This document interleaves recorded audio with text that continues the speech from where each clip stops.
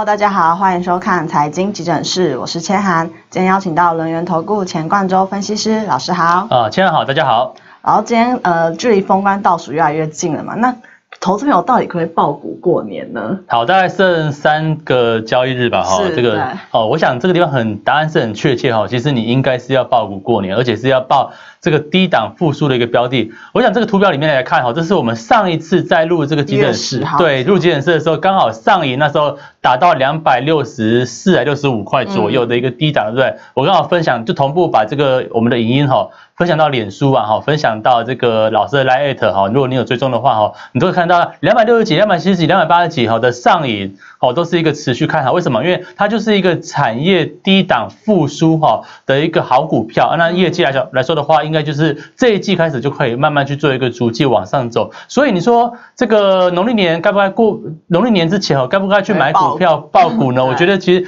如果说是一个涨了半天高的股票，你当然不要爆。但是如果说是这种低档复苏的标的，其实你真的就是应该爆股过年。所以跟我们上次讲的一模一样，就是你应该去选择一些好股票哈，去追踪老师的 Lite，或者是看老师的一个这个社脸书的部分哈，或者是看我们这个急诊室的部分来说的话，就告诉你说，哎，到底哪些的好的一个标的。好，那我们再看哈，从下一章来看的话哈，为什么爆股过年呢？因为哈。长长线股价低档哦，那产业将要复苏。那即使现在大盘指数在一万两千点这个地方去做一个震荡，那你说这种低档的好股票，它跟这个指数的位置跟外在环境有没有很大的关系呢？我们看一些今天的一些低档股来说的话，像工具机啊、哈上银啊，或者是一些其他概念股来说的话，其实走势都还蛮强劲的。嗯那所以这个地方来讲来讲的话，其实你应该要去做一个爆股的部分。那我们再看二零二零年来说的话，到底今年会不会像前两年哈？我们看下一张图表哈，会不会像前两年来说的话，有很大的一个市场波动？我认为是应该不会。为什么？因为其实从最近哈这几天，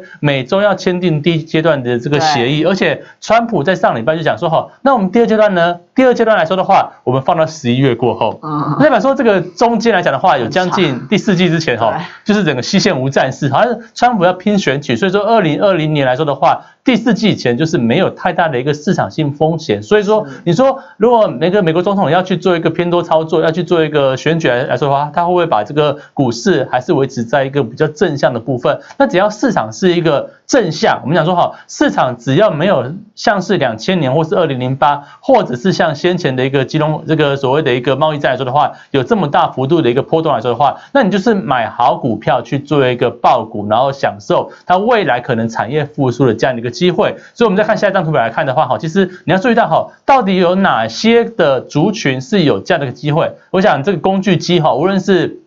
哦，像是上银啊，哈，像是雅德克啊，哦，像是值得啊，甚至像机器人的概念，像华汉来说的话，我想它都是一个低位接，而且准备迎接这个产业要往上去做一个走升的一个机会。那我们后面当然会去做一个持续介绍。那另外讲的话，哈。电动车这个概念，我想也是大家不能够忽略的哈。为什么这样讲？因为特斯拉的股价都持续创新高诶，而且重点在于说哈，特斯拉来讲的话，它的产线、它的一个产能开始有一个放量的一个迹象，包含像先上礼拜在中国的厂的部分，它每个每周都可以生产一千到一千五百台以上，那它的一个产能来说的话，慢慢去放大之下的话，那你说特斯拉概念股、电动车概念股，台湾的部分怎么会没有空间呢？可是它不是订单都在大陆那边吗？好我们举举这个茂联来讲的话，茂联是哈这个这个特斯拉的这个电子数哈是全球唯一供应商。那另外讲的话，像是一些哦这个电池相关零组件的部分，像和大也是一样哈嗯，它也是在台湾在电动车这个区块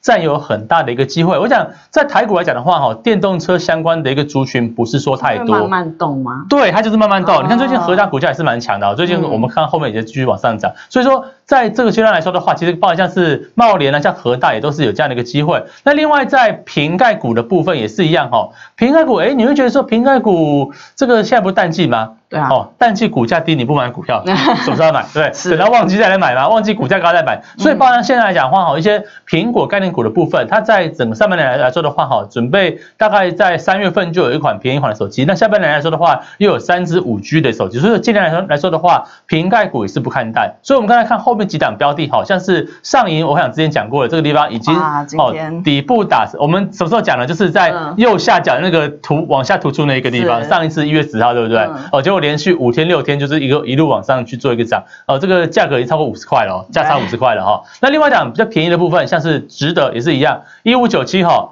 你说这个电动这个。工具机要复苏的话，你说这种股票它不会跟着涨吗？一样会嘛，只是价格有差嘛，可能比上银慢一点点，但是还是一样会嘛。那我们再看另外一档哈，像是电动车相关的部分，像核大也是一样，哎，这个地方还在相对低位接哦，它并没有真的涨很多，只是说，诶，这个底部慢慢已经出现了。那除了这几档之外的话，雅德克也是一样啊，像机器人，像华汉也是类似的一个情况，不过它股价都是有点高了。那另外在瓶盖股的部分，你要去做一个留意，现在或许不是很热，但是一些上游关键零组件，其实像大力光哦，当然股价也是非常高，对不对？可是问题是哦，还是可以去做观察嘛，也有所谓的一个小型大力光期货的这样的一个部位。所以说这个时间点来说的话，在农历年之前的淡季的部分，你要去注意到一些产业低档复苏的标的，可以做留意。是，谢谢钱老师精彩的分析。那想要知道更多有潜力的成长股的话，欢迎关注钱老师的 Light 财经简视。我们下次见喽，拜拜。